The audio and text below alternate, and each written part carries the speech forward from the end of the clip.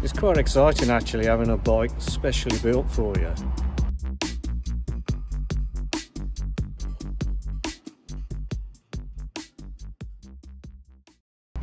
It's a carbon frame bike from a Ribble and it's got carbon handlebars on it, mountain bike gearing, uh, which I've specified.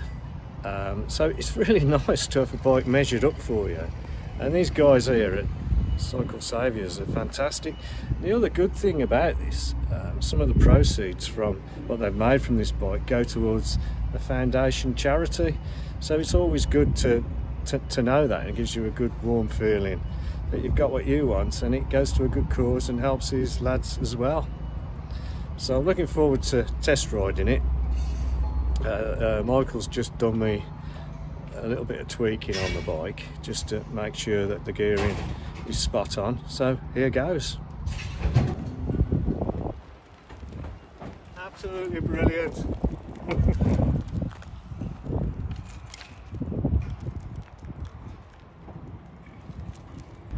carbon fibre frame with mountain bike gearing, fantastic. That's what we've been waiting for in the bike industry. Come on, this is what we want.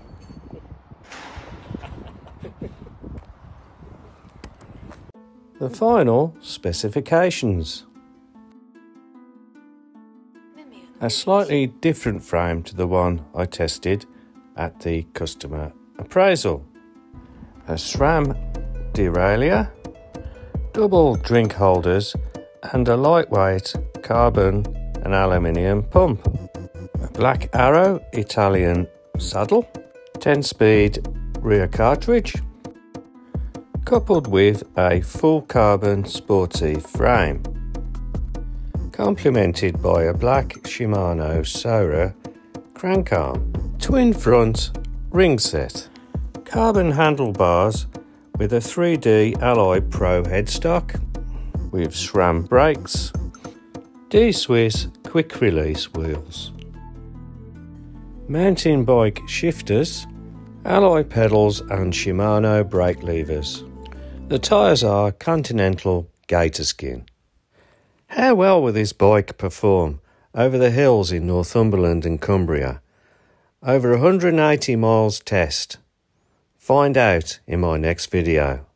When I'll be finding out how a lightweight sportive frame Ribble compares to an electric bicycle.